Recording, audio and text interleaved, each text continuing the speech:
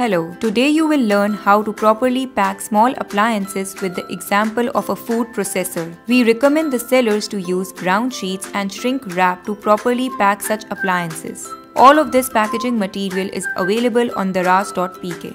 Begin by placing bubble wrap over the brown sheet, keep the invoice and the returns form on the top of the product, and then cover the product using bubble wrap and brown sheet together to completely secure it.